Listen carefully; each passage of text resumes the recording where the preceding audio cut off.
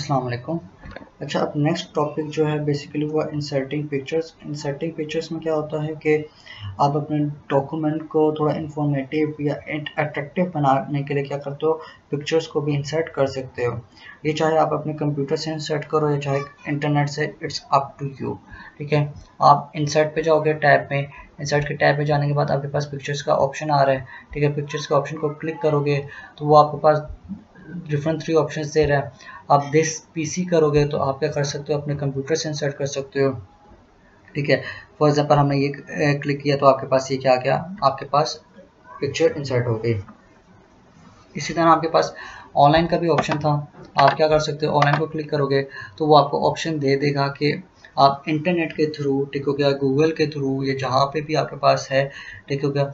वहाँ से आप क्या कर सकते हो? अपनी पिक्चर्स को इंसर्ट इसमें कर सकते हो। ठीक है it will take a time to load ठीक हो गया? तो हम मूव कर जाते हैं अपने पिक्चर की तरफ़ जो हमने कंप्यूटर से इंसर्ट की है, ठीक है?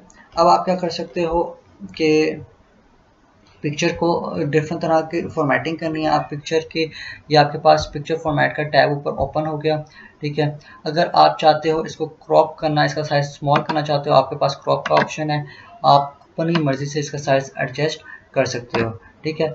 फॉर एग्ज़ाम्पल मैंने कहा मुझे इतना सिस्टम चाहिए, ठीक है? तो हमने क्या किया? अपने पिक्चर को क्या कर लिया? यहाँ पे बेसिकली क्रॉप कर लिया। तो क्रॉपिंग के आपके पास डिफरेंट तरह के ऑप्शन हैं। आप क्रॉप कर सकते हो। ठीक हो गया? इमेज को अपने, ठीक हो गया? फिर ये बेसिकली आपके पास किसमें आ रहा है? साइज़ के ग्रुप में आ रहा है ऑप्शन साइज़ के ग्रुप में जाके आपने अपनी क्रॉपिंग कर ली, ठीक होगा इसके अलावा आप अपनी पिक्चर की अपीयरेंस को एडजस्ट कर सकते हो। ठीक हो गया? अपीयरेंस में आपके पास आ जाता है फॉर एग्जांपल उसकी कलर करेक्शन आ जाती है। ठीक हो गया? तो आप कलर करेक्शन कर सकते हो। ठीक है? तो आप जिस मर्ज़ी आप चाहो हम्म। इसको एडजस्ट अपने मुताबिक कर सकते हो जिस तरीके से भी आपको डॉक्यूमेंट में इसकी रिक्वायरमेंट है। ठीक है?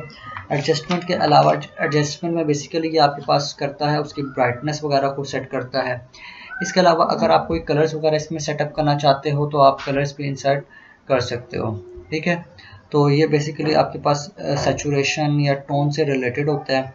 फिर आपके पास आता है आर्टिस्टिक इफेक्ट्स होते हैं, ठीक हो गया? आप वो भी इसके अंदर एड अप कर सकते हो। फिर आपके पास पिक्चर स्टाइल ग्रुप का ऑप्शन है। पिक्चर स्टाइल ग्रुप में आप जाके पिक्चर का बॉर्डर इंसर्ट करना चाहते हो, आप बॉर्डर इंसर्ट कर सकते हो। ठीक है, हम पहले वेट इंक्रीज कर लेते ताकि हमें बॉर्डर शो हो प्रॉपर उसका। ठीक है, इसी तरह आप फ्रेम्स बनाना चाहते हो इफेक्ट्स डालना चाहते हो डिफरेंट तरह के आपके पास क्या इसमें ऑप्शंस मौजूद है। आप उसके अकॉर्डिंगली अपने इसमें फॉर्मेटिंग कर सकते हो। नेक्स्ट जो इसमें आपके पास टॉपिक आता है, वो है रैप टैक्स का। रैप टेक्स आपके पास क्या होता है? एक ऐसा एम एस ऑफ़िस का फीचर है जो कि आपके पास ऑटोमेटिकली क्या करता है? न्यू लाइन क्या करता है? स्टार्ट कर देता है, जब भी कोई सेंटेंस एंड होता है, किसी बॉर्डर पे पहुँचता है, ठीक है? वो अब बॉर्डर आपके पास किसी भी टेक्स्ट बॉक्स का हो सकता है, वो आपके पास बॉर्डर किसी भी पिक्चर का हो सकता है, या किसी भी सेल का हो सकता है, किसी भी मार्जिन का हो सकता है।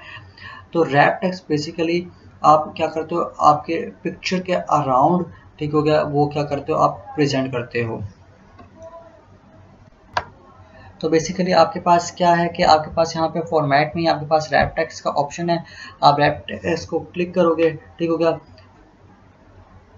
ठीक है, आपके पास डिफरेंट तरह के ऑप्शंस ऑलरेडी गिवन है, ठीक हो गया। जिसमें आप स्क्वायर है टाइट है थ्रो है टॉप एंड बॉटम है, आप इसमें से अपनी मर्ज़ी से आप जो भी चाहते हो, वो आप अपनी मर्ज़ी के अलाइनमेंट सेलेक्ट कर सकते हो।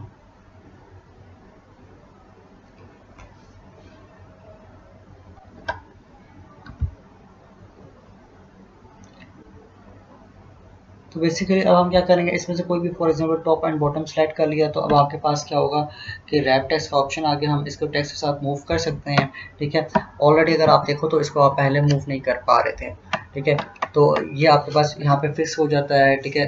इसमें टेक्स्ट अगर आपके पास लिखा हो तो वो फिर आपके पास इसके नेक्स्ट लाइन से स्टार्ट होगा, लेकिन अगर हो तो आपके रैप टेक्स्ट हो तो वो इसके साथ ही स्टार्ट हो जाता है। हमने टॉप एंड बॉटम सेलेक्ट किया, अब जब आप मूव करो तो आपको एक ग्रीन लाइन शो होगी।